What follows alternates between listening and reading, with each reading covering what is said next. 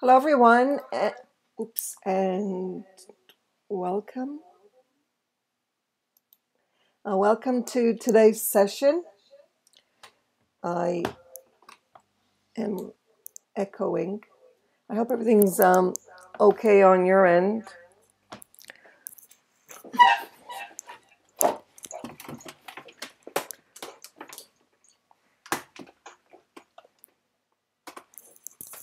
Just a second.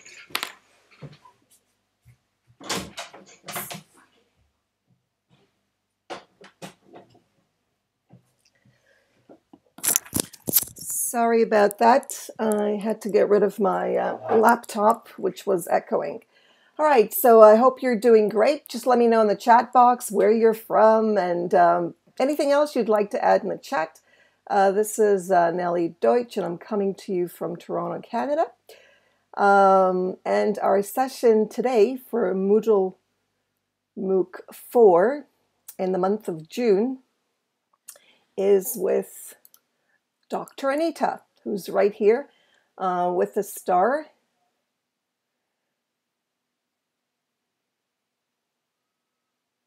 And a little bit about Anita while people are coming in. Anita is Associate Professor of Education at the Advanced Programs and a Flex Master of Arts in Teaching Coordinator.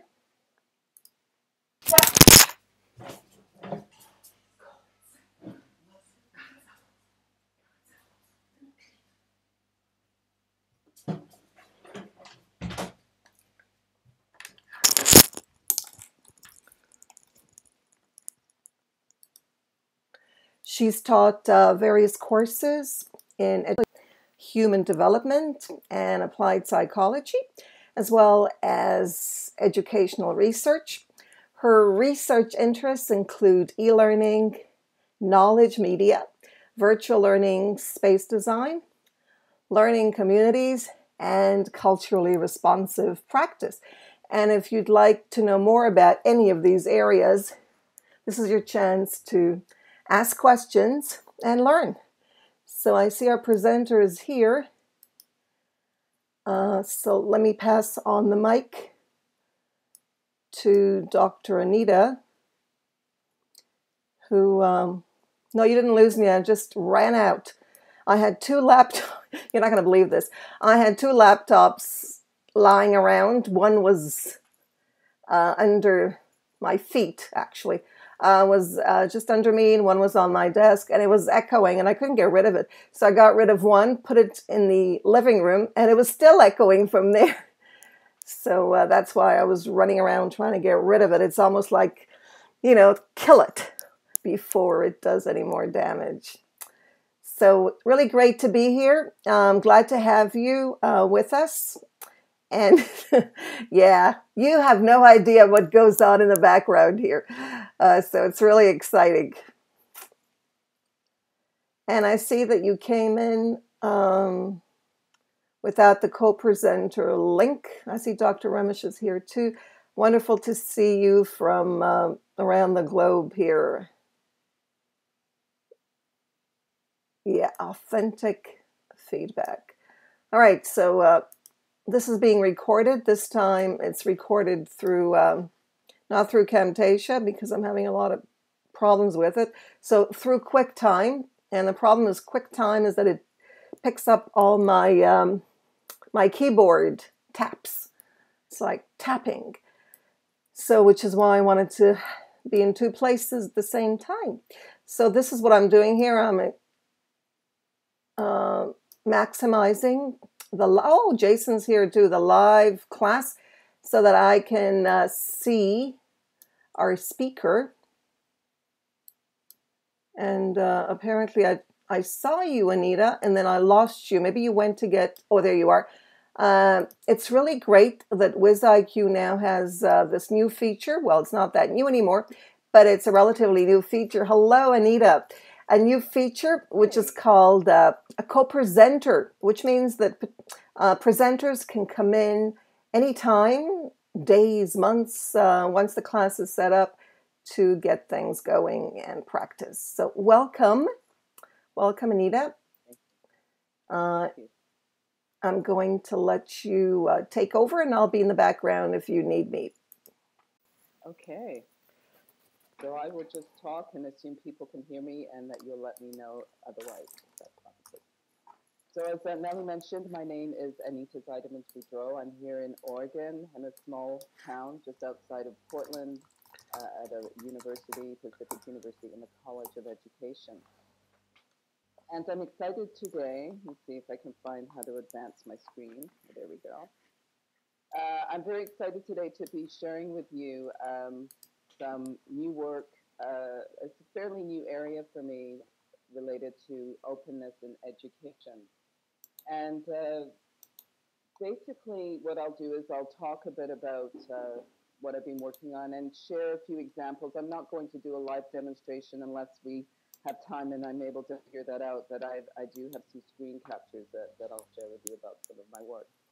So uh, welcome, and uh, so let me just start by talking about what I mean about open education. So in today's context, open education can be described as iterations of uh, social and technological innovations that reduce barriers to access and create multiple opportunities for educational practice. And my goals for today are to start with a, a historical and a philosophical overview because openness actually has tradition in, in education. And uh, I'd like to start with the philosophical and historical overview uh, and talk about how these have informed today's current technological context, particularly as they have uh, informed open learning, teaching, content, environments, and design. And then I'd like to share, as I said, some of my examples just to give us some food for thought of how educators in traditional settings, which I think is uh, still most of us, we are usually in fairly traditional settings, uh, how we might think about openness in our practice. So perhaps a fitting place to start is by asking the question, why openness? And as it turns out, the convergence of collective intelligence and ICTs, information communication technologies, particularly social media, they have led to the reincarnation of openness as the new paradigm of social production in the global knowledge economy, as you can see there quoted by Peters. And from this, a renaissance in open education, as we have seen it manifested over the past couple of decades, two or three decades, in terms of open source, open access, open content, and recently MOOCs, massive open online courses.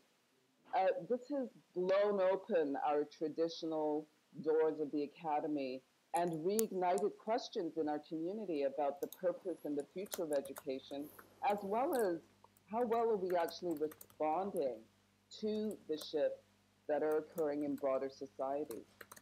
And it is this shift that sparked my curiosity in openness, particularly this question of how do educators, how do I as an educator pursue openness and practice within my closed uh, setting, my traditional uh, environment? So to get the bigger picture, I looked back and, at those philosophical and historical origins of this thing called openness. And I found I found lots of interesting articles. Uh, one in particular that uh, I'll refer to here is on the role of openness in education and historical reconstruction. The authors they look at earlier time periods, going back to embryonic forms of open adult education of the late Middle Ages, 12th century onwards, uh, before education became institutionalized. They note periods of open and closed practices uh, are inextricably linked to shifts in power between institutional uh, structures in place and the individual. And so one example they use of this uh, were the, uh, was the open culture of the the coffee houses in London around the 1800s that were hugely popular as places for informal learning and sharing of information, and how these gradually transferred into closed private clubs uh, and exclusive societies. So there's an example of a shift from that open to closed. And the authors further characterize openness as a social, cultural, and economic phenomenon that is neither bound by institution or national boundary. So the philosophical values inherent in openness, and here we talk about things like freedom, autonomy, individual transformation, social progress, or knowledge for all. These all have a rich foundation in progressive works of people like Rousseau, Montessori, Dewey, Piaget, Maslow, Rogers Humanist, and many other notables. And these pioneers helped to establish a clear vision of education and its relation to meaningful life that's quite distinctive from the more closed traditional practices, such as behaviorist or cognitive approaches that still influence educational systems today. And so, though this open project, this project of open education has its roots in enlightenment uh, concerning universal access to education, information, and, and uh, knowledge, it has received this new expression that I referred to through the advancements in information communication technology. So today, or at this time, my work really looks at uh, education, open education in terms of uh, learning, teaching, content, uh, and learning environment. So that's where I will focus today. And here on this slide, I've just pulled together some of the more recent expressions of, uh, of openness in education. So let's start with open learning, because open learning, it embodies certain assumptions about what the learner is or what the learner is capable of doing. And in the open context, and, and a lot of these will sound very familiar as constructivist values or humanist values, but in, in open learning, the learner is central, the principal lead in the education enterprise. And the belief is that the learner possesses a natural desire to exercise agency, to solve problems. They're innately curious. They like to engage in decision making they want to explore the world tend to prefer hands-on kind of learning experiences versus strictly textbook kind of approach. And so the learner, therefore, should be viewed as competent, should be encouraged to curate knowledge and pursue uh, the social lifelong learning, which transcends the boundaries between formal and informal uh, settings. It's suggested that cooperative learning uh, is is the way to provide multiple opportunities for both individual flexibility and affinity to learning communities, as opposed to collaborative learning, which supports a high engagement at the cost of limiting individual flexibility. And it's seen this cooperative freedom as supporting one's given right to, to, to determine their own learning and uh, it's enabled by allowing flexibility through time, space, pace, medium, access, and content. And I think this idea of cooperative learning is quite noteworthy because education loves collaborative uh, learn, the collaborative learning model. And uh, this notion that enticing learners to be cooperative instead of necessarily collaborative, we want them to collaborate, but this idea of being cooperative still allows the individual to have some ownership in the process. Uh, and the idea is that you know you allow them to have their individuality, but you encourage them to share their learning and to engage in the community with others.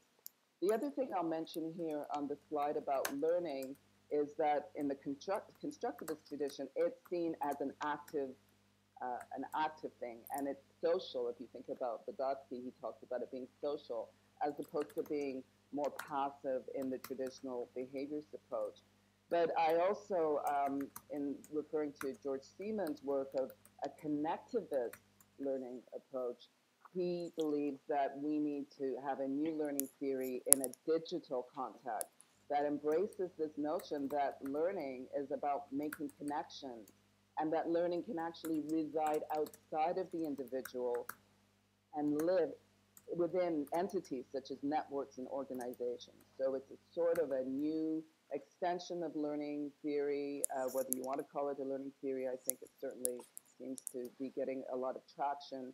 Uh, but this idea that we need to think about learning and redefine it in a digital context. Uh, open teaching. So based on this view of the learner, uh, in response to this idea that the learner is primary in the education activity, then the role of the, the, the teacher, again, very constructive, is, is a facilitator, uh, is somebody who uh, provides instruction not based on prior conceptions, but based on observations of the students within the learning context. Uh, it's uh, the teacher emphasizes personal achievement, reflection, freedom of choice as opposed to predetermined outcomes.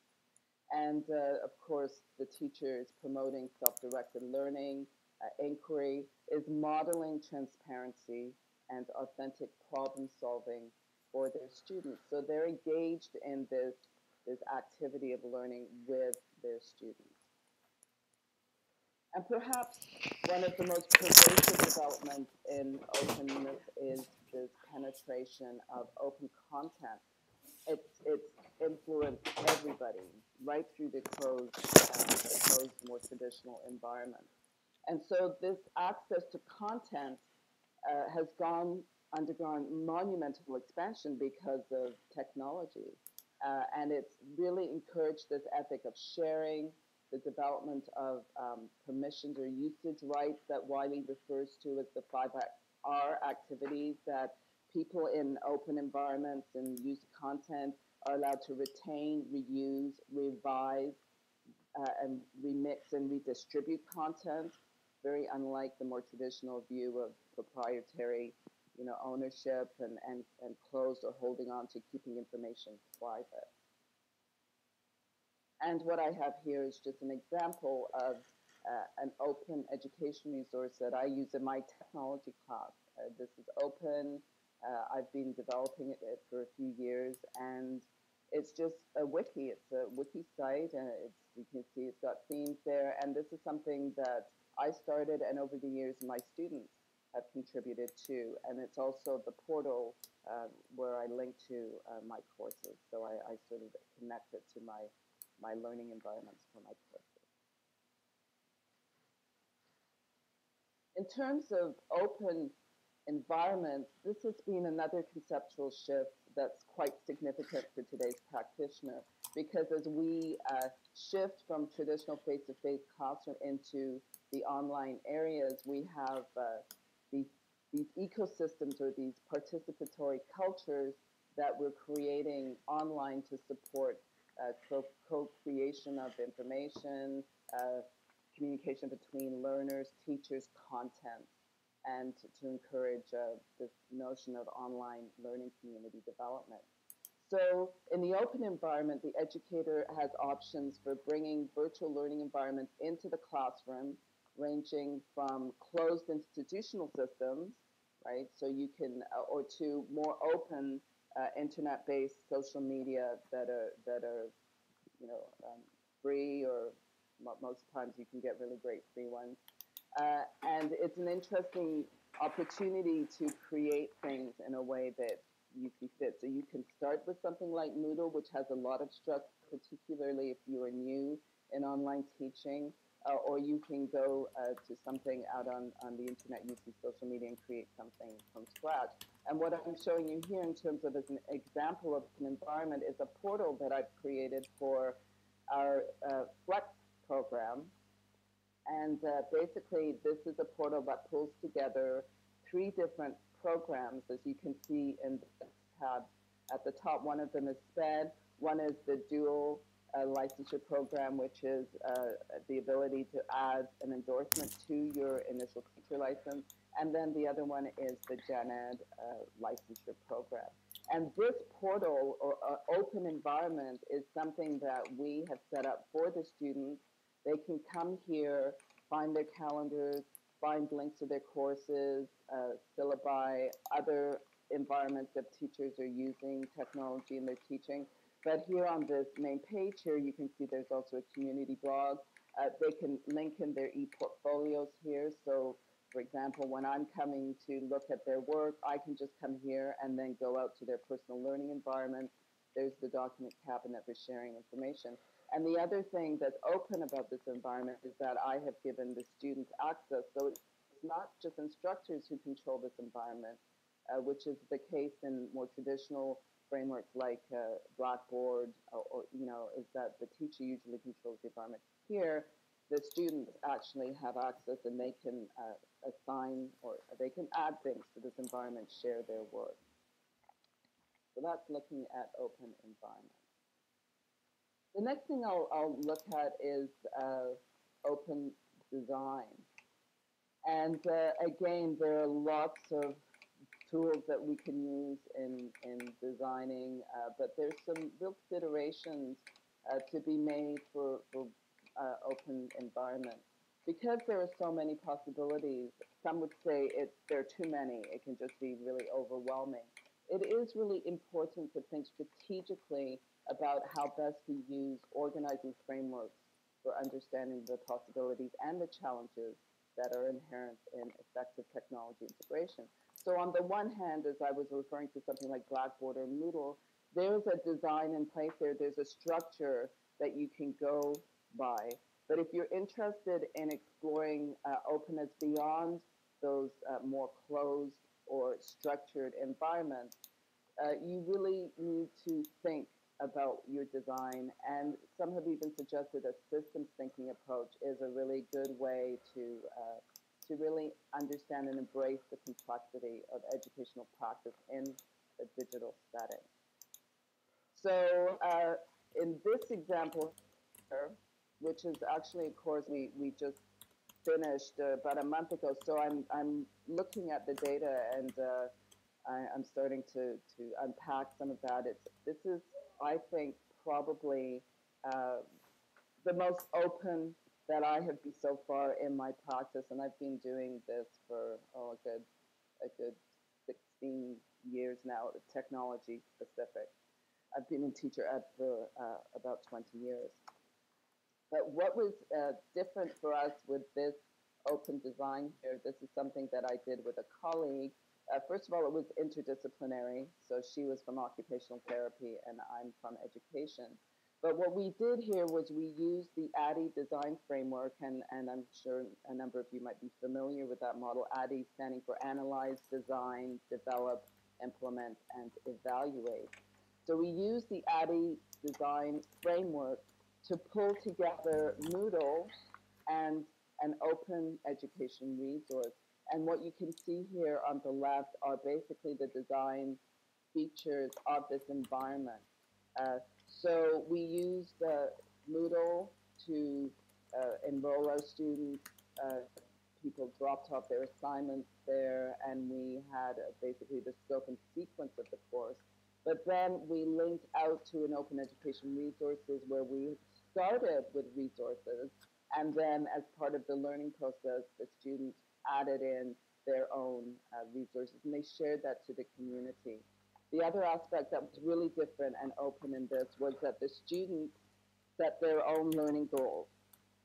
So typically we have learning objectives, but then within this, we wanted to empower students to be able, within a theme, to decide what they knew, what they wanted to learn, how they wanted to demonstrate um, you know, that, that they had an understanding of that. So we had some loose guidelines, we had some structure, but we weren't rigid within that structure. We were open and we wanted them to set their own learning goals. Um, and then we developed our modules. Uh, we had a, a, professional journal that they kept. The back ends of this were Google Docs. So we pulled together a number of different tools uh, in order to create this open environment at that, as I said, uh, had Moodle, I guess you could call Moodle sort of at the center of it. So how can educators in traditional settings think about exploring openness in their own practice and respond to those significant shifts that are occurring outside of the academy? using a systems thinking approach, uh, we developed this reflective tool uh, that takes the elements of a system, the, uh, the, the elements are basically, if you think of a system as comprised of elements, relationships, and purpose, what, we, what I've done here is I've developed this tool looking at certain elements uh, that evaluators can use to evaluate levels of openness within their own practice and hopefully use it from that to potentially explore areas that, that they'd like to improve uh, moving forward. So if you would think about using this uh, as a sliding scale from closed to the left to more open on the right, you could look at each of the elements. So just as an example, that open design that I showed you in the previous slide, if I were to plot it along each of these elements, uh, lens, you know, it was sort of somewhere around the constructivist uh, level, just, you know, going on uh, towards maybe a little connectivist. The learner was quite involved. The teachers were definitely co-constructing with the students. The content was initially teacher generated, but then pushed the slide up towards generated. Uh, assessment was definitely partially achievement based, but it was also mainly about their learning and personal reflection. And then the environment was trying to achieve a learning community kind of model. The systems level, it was flexible, creative, and access was uh, this in this particular case was online. So it was purely online, no face to face, and it was synchronous and asynchronous. Okay, so when I think about that, and as I said, I'm starting to do my initial analysis of that, that experience, I would say we had a fairly open course, but some interesting things that we, we learned in the process, uh, just to give you a little heads up of some of the things we were finding, is that it's very foreign. So it was unusual. The, the students, they found it kind of difficult to think about, well, what do you mean, what are my learning objectives? You know, you have they're so used to doing what we want them to do that it's uh, it's interesting when you say to them, well, what what do you want to learn from this? You know, maybe you know something about this already and you want to get deeper in an area, or what what are your thoughts about your role as a learner in this environment? Uh, the other thing I'll mention too, that from a teacher perspective, it felt strange too, because we are used to having a little more control and structure, and in this kind of open environment. Uh, you need to be willing to let go of that. You know, even including letting go of ownership of your learning environment. Uh, usually, we control the environment, and in an open context, the idea is that you are you are sharing that. You're allowing uh, learners to bring in their environments to contribute to, to the environment for the, the community, the learning space to kind of evolve and develop. Uh, let's see. I think that sort of brings me to the end. Um, so basically, what I've, I've tried to do here for you today is I've tried to give you a little bit of the philosophical values and, and history that have informed openness in particularly in education. And, uh, and I've tried to show you some examples where I've been exploring openness in my own practice. Uh, there's no doubt that the digital revolution is significantly impacting our work. It's significantly impacting the way we teach, it's impacting the way we learn, it's impacting the way we as educators need to think about preparing our learners to engage in, in society. And because institutions can tend to be slow to change, uh, it is kind of incumbent, I think, on us as educators to uh, to be proactive and to think about these things. And even if we are in closed environments, to think of, well, how can I improve or make some change happen in, in my own practice and start thinking about aligning with some of these shifts that are going on in broader society. And on that note, I'll end it. Uh, thank you. And if you have any questions, I'd be happy to address them. Thank you, Anita. It's uh, it's it was really nice to hear. I'm hoping to hear it face to face in uh, Finland, or at least uh, some of it. Um, yeah, I, I, presume that it's a third. Great, great. So I presume that it's a 30 minute session, or, or is it longer?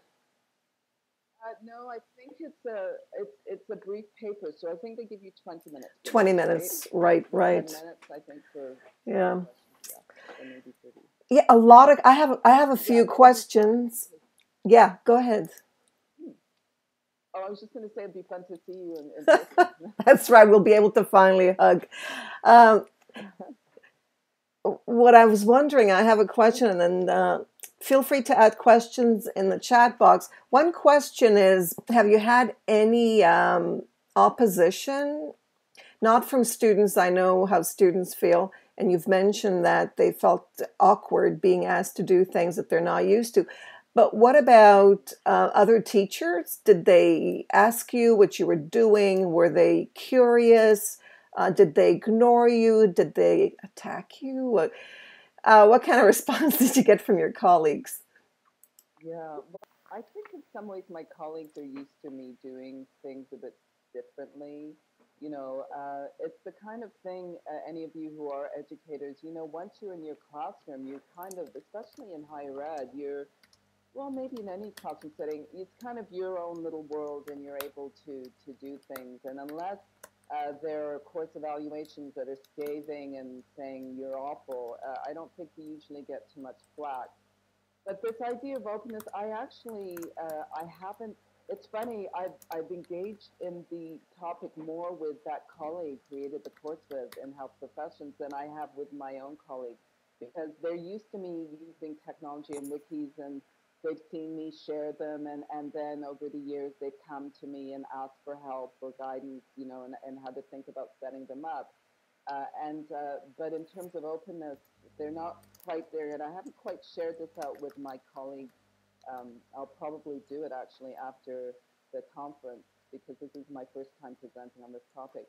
So would i if i were to think about it i don't imagine that i would uh, get a lot of flack from my colleagues. They might look at me a little strangely or say, "How's that work?" Because it is a bit different. But I do also have some colleagues who are very constructivist. Uh, in some cases, they're way on that that end. I teach ed psych too, so I see the value of the full spectrum of more closed or behavioral, traditional kinds of uh, approaches to, to learning, as well as the completely open constructivist and the connectivist things aside that, that Siemens talked about. Um, but I do have some totally no, you know, constructivist and open. But of course, doing that in practice is very difficult, you know. So yes, it'll be interesting to see the reaction. So far, no hostility, which is good. Yeah. Questions here. Uh, I see people are discussing how things are uh, in their neck of the woods. Seems that um, Australia is quite open. I know New Zealand is too. Uh, certain parts of the world are more open to open, and uh, some are less open. I think Australia, because maybe because of um, Wiki Educator in New Zealand, um, and and in fact, I think because maybe because of uh, Moodle as well. Because of story. Thinking of Moodle too, because they did uh, Moodle did start off in Australia, in you know to bridge the gap so that um, people who lived way out could um, manage to learn online. Yeah, and so my understanding too of Moodle is that its history is looking at a more constructivist approach. How do you create an environment that's structured but is a little more open uh, than some of its predecessors, like uh, the now defunct WebCT or Block um, I don't know about desire to learn, but my, my assumption is that they're all fairly similar. Uh, so on one hand, the structure as a teacher is really welcome. It's great that I don't have to enroll my students, that my, my system at the university just does that once students enroll. It's nice to have some structure. Uh, Moodle does have some of those, which try to incorporate some social media tools in the environment uh, but it's so easy to just link out and connect to other social media that are out there on the web, which which is what I tend to typically do, especially in terms of content. Uh, as I said earlier, that is a significant area that even if you're in a closed institution, we're all going out to the internet. We're all seeing the value of, of accessing those resources, and there's such a great ethic and movement out there around sharing, you know, open courseware or open resources, all of these these wonderful things out there. How could you not take advantage of that. You know, so even if you are in a traditional environment, you are, I'm quite sure you're you're you're bringing in these kinds of things that are open. I mean, they come from that open ethic of let's make this accessible to everybody. You know, so there are some exciting possibilities for using Moodle, especially if you're not as experienced, starting there, but then linking out. And then in my own practice, I just over, uh, I'm going to say the past easily seven years have been creating open education resources. And I basically have one for each content area that I teach. And I just develop it and add to it over the years. My students add to it when they come up with great resources.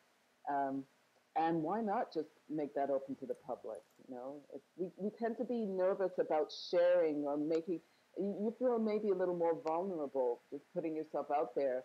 But um, there's also, of course, that side to social media where everybody's putting themselves out there. At least you're putting yourself out there in a, in you know, a way that can be of, um, of use and benefit to other educators or other students. That vulnerability of being uh, of seeing what you're doing. You know, teachers were used to having things in their own classrooms and not letting others come in or let their work out. I'm wondering, um, since uh, many of the uh, participants are learning to Moodle, I mean, this is a Moodle MOOC, and we do have a venue, Moodle 2.6, for beginners and non beginners. And I'm wondering about some of your experiences with Moodle if you're using the latest Moodle. Um, how do you, if you could just describe a little bit uh, your approach to the use of Moodle? Yeah, so I think uh, I go back to even though, as I said, the great thing about Moodle is that you have structure there. Uh, I think referring back to that slide where I talked about uh, design, uh, this is something that I think a lot of teachers don't necessarily give consideration to. You know, maybe they, teachers often think about their content, and we think about oh, we've got those learning objectives we need to meet, the content and their assessment, those kinds of things. Uh, but in, especially in a complex environment where it might be face-to-face plus online, uh, whether it's hybrid or fully online, you know, the, this integration of technology, it's important to, to sit down and think about your design of your learning space, which would include perhaps face-to-face plus online. Online is part of that learning space, even though it's virtual you have to think of it as part of your classroom, right? And so I think, uh, in my experience, I would just really, I the first thing I sit down is think about the design. What do I want this environment to look like? Uh, I, for educators who are just being out, I often in my tech class we talk about models like TPACK, right? It's just a nice framework to think about. Okay, what is my my technology, my pedagogy, and my content knowledge? And normally I probably would start with the content, think about the pedagogy, what are my strategies, uh, that, you know, my objectives, these things, what, you know, how, how am I going to, what kinds of activities am I going to have? And then, you know, well, what tools will I be using to support that?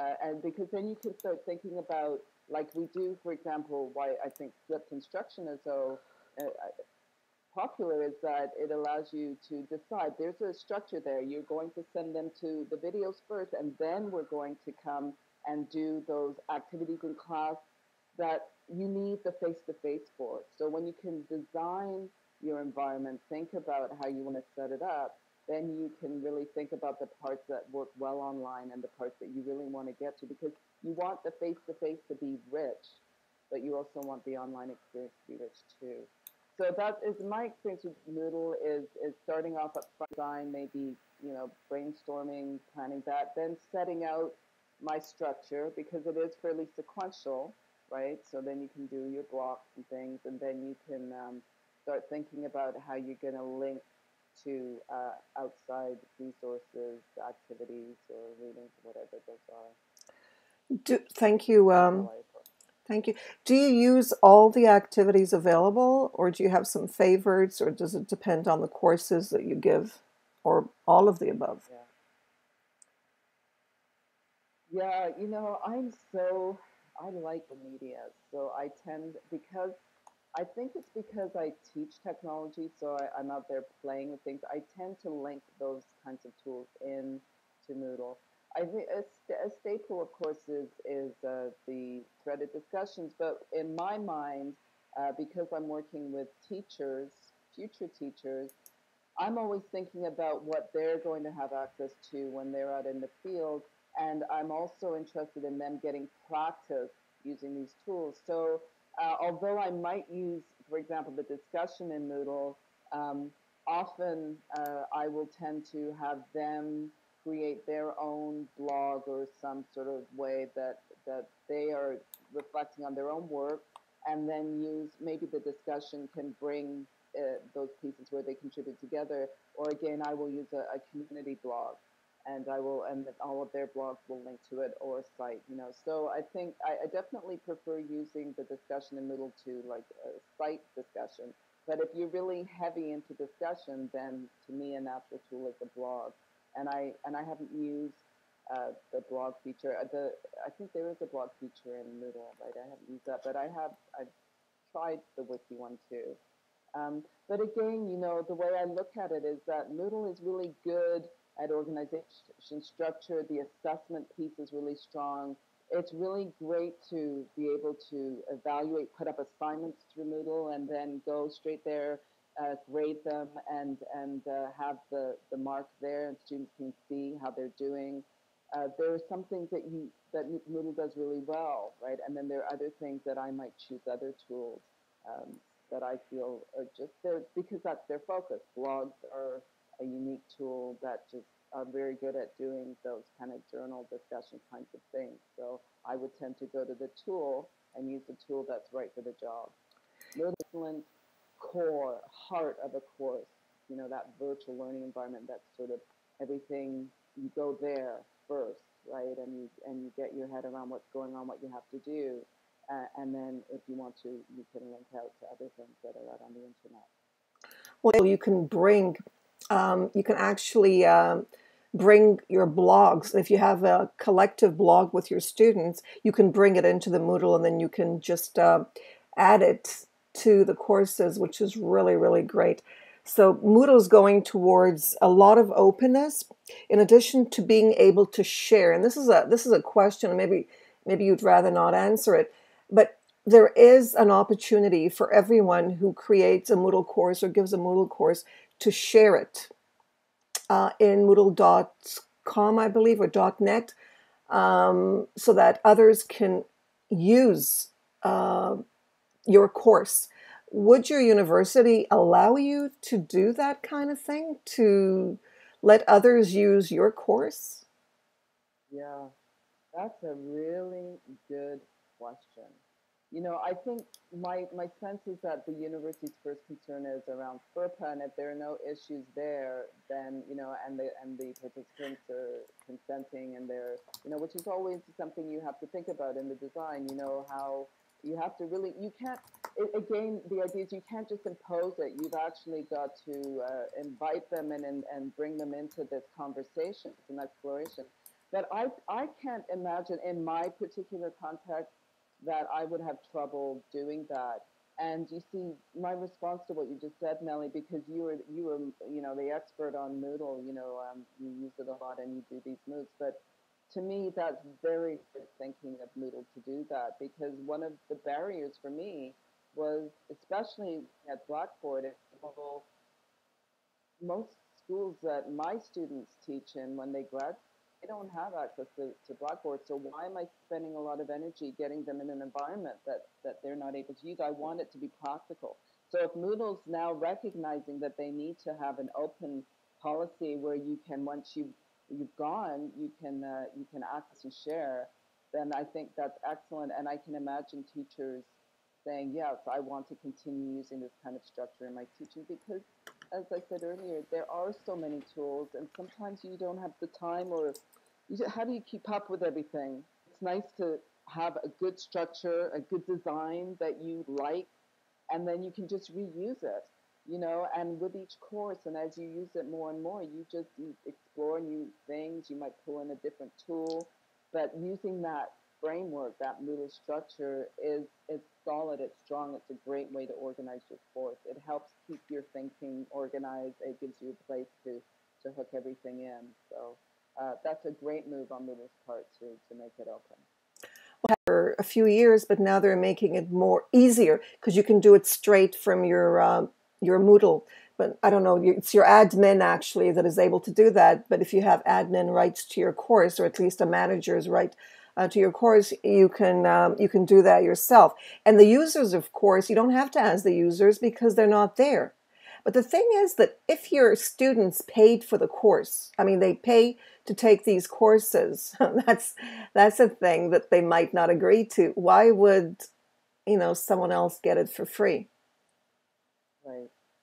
Well, but what they're paying for are those uh, that personal uh, relationship with the instructor, and this is why that whole MOOC, uh, you know, debate and discussion has been interesting because it is different when you're just attending a MOOC or an open environment like this. Example of if Moodle was open. Uh, it's different when you're just attending on your own than when you are enrolled in the course and you're getting that, that personalized attention, right? Um, I think ultimately, ultimately that's what the student's paying for is knowing that they've got that, that personal relationship with, with the instructor and, and the other students in the class are, are benefit too, but I, a lot of students still don't think about the social aspect of learning. A lot, young people are very social in using these technologies in their personal lives, but they tend not to think as much about the social aspect of the classroom. Um, we tend to still have this think that I'm attending this course, what can I get out of it? And of course, in education, we're there, well, it's about also what you give back, right? How you contribute to the community and, and helping them to see that in engaging through cooperative learning with others, you, your learning is enriched.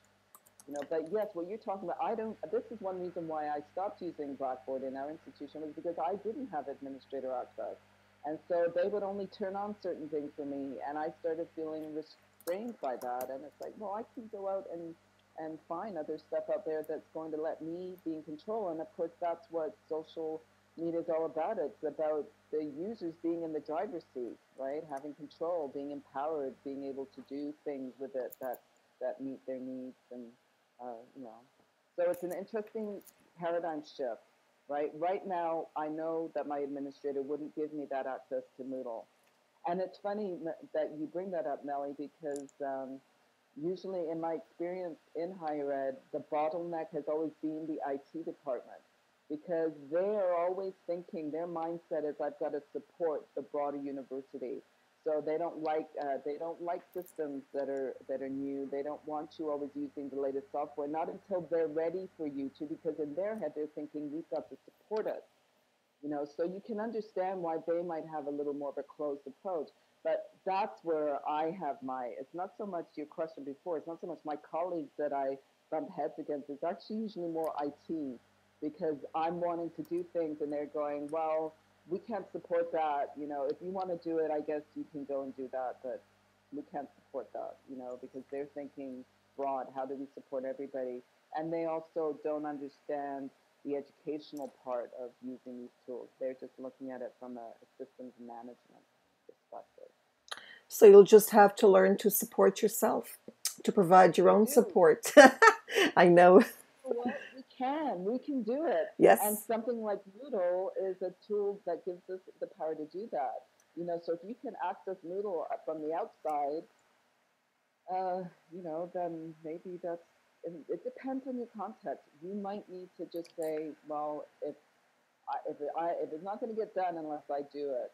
And I think, and I know Nellie, you're all about empowerment and transformational learning, and so I mean, this is this is a way for you to to really transform your process, uh, learn, you know, and, and engage your students in that too. It's very, it's very uh, exciting.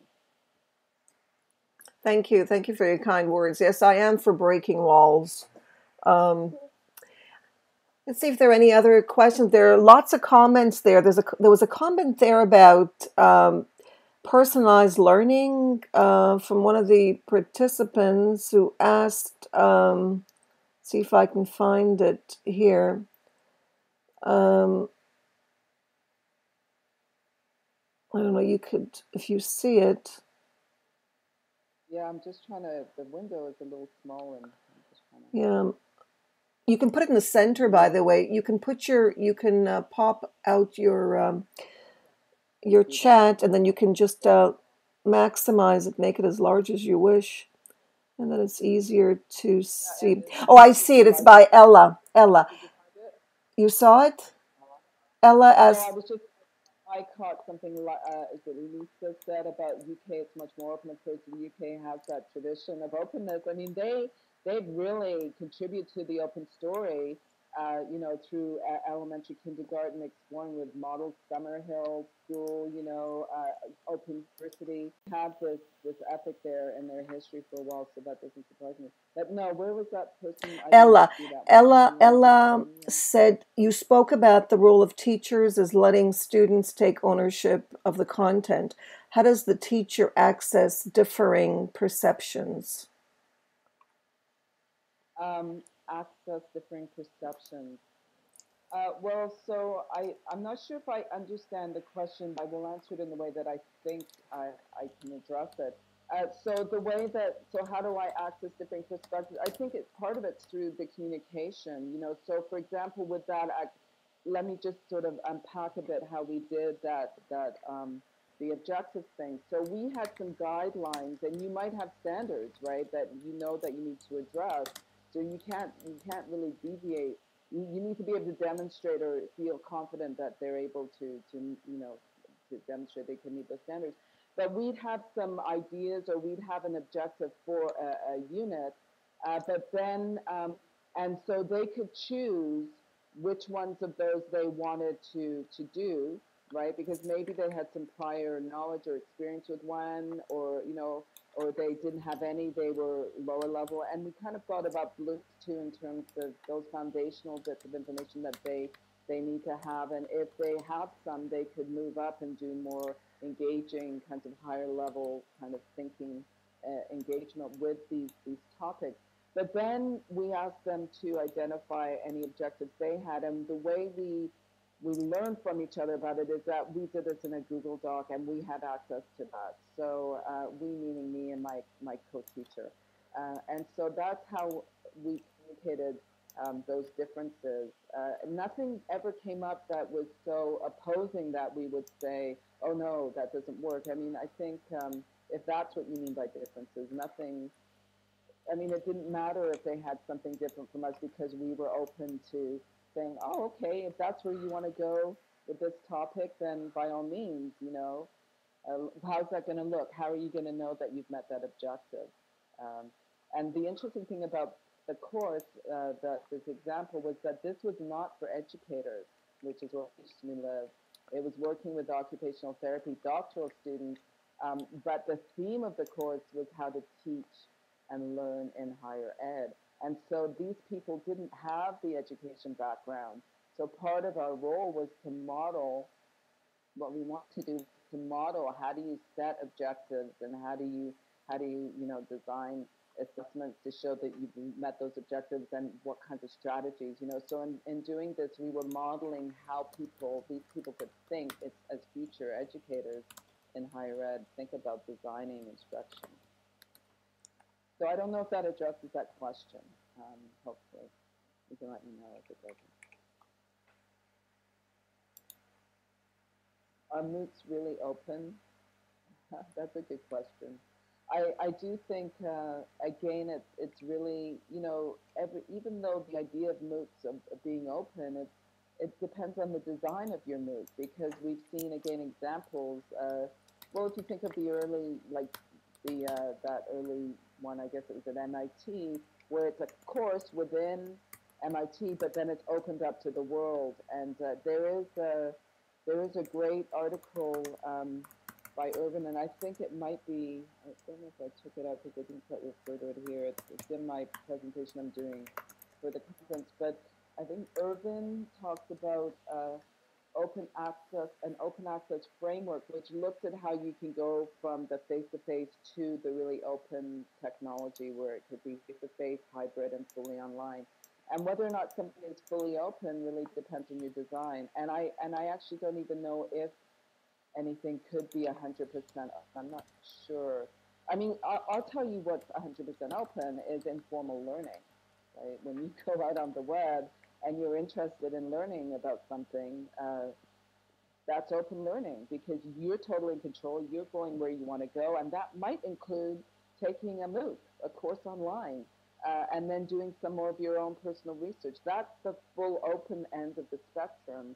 As educators, it's hard. For, we can't do that. Our administration, you know, it's like, well, where's the credit? How do you pay, how do you pay to get someone to pay for that? You know, and this is one of the, the lines that gets blurred in openness is between and, and this is why I think the resistance happens in institutions is because they lose control, right? It, and they want it to be closed where they can put a nice boundary around it and they know what it looks like and how, how to, you know, get their cost, you know, value out of it. And in formal learning, the really open stuff is it empowers the individual. They get to choose. So MOOCs, I don't know if they're ever 100% fully open. They could be if it weren't attached to an organization, perhaps, that's trying to put structure on it. I don't know, Nellie, what you would say to that. I'm planning to research it. Yeah, open a- action research is um, is great. Yeah, open open uh, is debatable because open would mean uh, CMOOCs that are kind of uh, informal, like you said. I think I totally agree with that. And that takes a lot of planning, which is interesting because unstructured uh, courses uh, take a lot, are more demanding, I think, on the part of the um, course organizers. Oh, yeah. And you also have to feel comfortable with doing things spontaneously. So you, it's, it's like you have to prepare and know your stuff, and then you have to be ready to let that go because your your your students might take you in completely different directions. You have to not be scared of to say I don't know or let me look into that. A lot of this is that constructivist kind of feel that we talked about earlier. That teacher in the classroom and any of us who have taught in even in formal settings, you have your lesson plans. It's great when I go out to see my candidates and do their student teaching. They've worked so hard to do these lessons. They've got a whole unit designed and this and that. They go into the classroom, they get into the first five minutes of their lesson, something happens, and they have to completely go in a different direction. So even if you plan, uh, you know, and the ones who can't do that are the ones that struggle, right? So it, it demands of us as educators to open up our minds uh, and not to be scared to be seen as maybe not knowing, um, to be flexible, you know. So we still need to know our stuff, but it's and so that can be very stressful, you know, it can be very stressful. Yeah, that's where mindfulness comes in. You know, if everybody does mindfulness together, everybody is going to be uh, okay. Yeah, it takes a lot of um, organization. Um, I want to thank you, and I'm looking forward to meeting you uh, finally face to face, and um, and talking, and uh, maybe doing something together in the very near future. So, thank you for joining, and um, thank you for this opportunity. Thank really you. Appreciate it. And I'm looking forward to going back to the chat to see, see what other people. Ah, so copy it. Okay, you're you're invited to copy it, and we can continue the discussions later on or next week, uh, whenever we have time. If someone can add the uh, the link to the chat, uh, that would be great. Chat copied. Okay, the chat's been copied, and uh, actually, it's called the courseware in the in the MOOC. The link to the MOOC and uh, sorry, the course feed is the discussion. So thank you, thank you everyone for joining, and um, and we'll see you tomorrow. Bye for now. Thank you. Bye.